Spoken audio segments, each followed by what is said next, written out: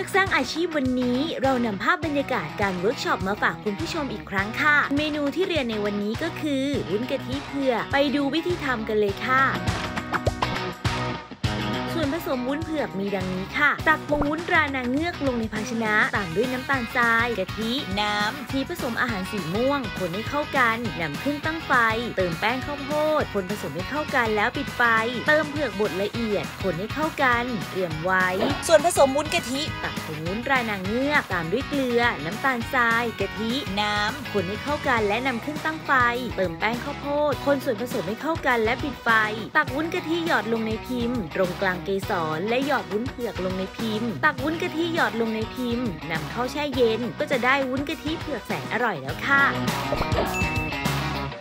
ใครอยากได้สูตรเต็มๆ ก็ตามไปดูได้ที่ YouTube ช่อง ยิ่งศักดิ์ Food TV นะคะ ใครที่ไม่อยากพลาดกิจกรรมดีๆ กับเวิร์กช็อปวุ้นนางเงือกสร้างอาชีพ กดติดตามกันไว้เพื่อไม่พลาดข่าวสารดีๆ แบบนี้ ได้ตามช่องทางที่ขึ้นอยู่ตอนนี้เลยค่ะผงวุ้นตรานางเงือกสนับสนุนคนไทย เรียนจริง รู้จริง มีอาชีพที่มั่นคง ได้เคล็ดลับหลาย ๆ อย่าง เอาไปปรับใช้